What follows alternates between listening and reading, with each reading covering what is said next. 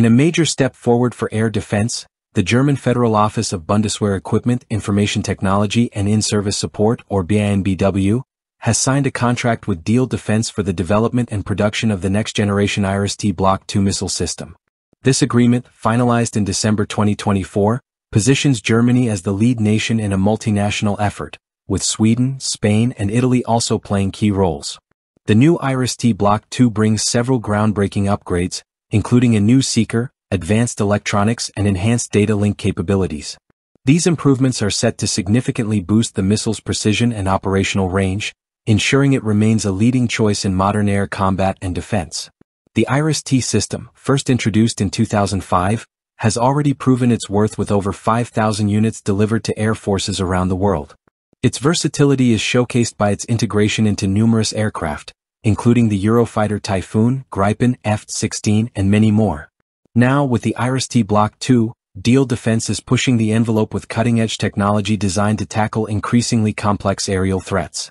The origins of the IRIS-T date back to Germany's post-reunification era, when the country began examining the capabilities of Soviet-designed missiles on MiG-29A fighters. The R-73 missile, inherited from the East German Air Force, had superior maneuverability and range compared to NATO's standard missile at the time. This realization sparked a major shift in air combat strategy, prompting Germany to pursue the IRIS-T program. Since its inception, the IRIS-T missile has undergone continuous development, incorporating advanced infrared seekers that can differentiate between real targets and decoys, even under the most challenging conditions. The missile's thrust vector control lock-on after-launch feature and off-boresight targeting capabilities have made it one of the most agile and effective air-to-air -air weapons in existence. Today the IRIS-T is in service with numerous countries, including Germany, Austria, Greece, Saudi Arabia, and Ukraine.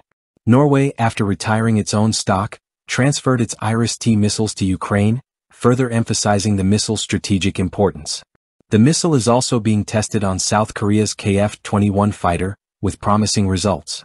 In addition to air-launched versions, the IRIS-T family has expanded to include ground-based systems, such as the IRIS-T SLM and SLS. These systems provide vital defense against aerial threats like cruise missiles and helicopters. Several countries, including Sweden and Egypt, have already adopted these ground-based systems, showcasing the IRIS-T's adaptability to a wide range of defense needs. One of the key advantages of the IRIS-T system is its cost-effectiveness. With a unit price of around 400,000 euros, the IRIS-T is far more affordable compared to alternatives like the PAC-3 MSE, which costs around 3.7 million euros per missile. This makes the IRIS-T an attractive option for countries looking to enhance their air defense capabilities without overspending. The IRIS-T is also a cornerstone of the European Sky Shield Initiative, a collaborative defense project aimed at strengthening Europe's collective air defense. Countries like Germany, Finland, and Norway have integrated the IRIS-T into their defense plans, further highlighting its role in regional security. As the IRIS-T Block 2 prepares for its next phase of production and deployment, it is clear that this missile system will continue to play a critical role in modern air defense.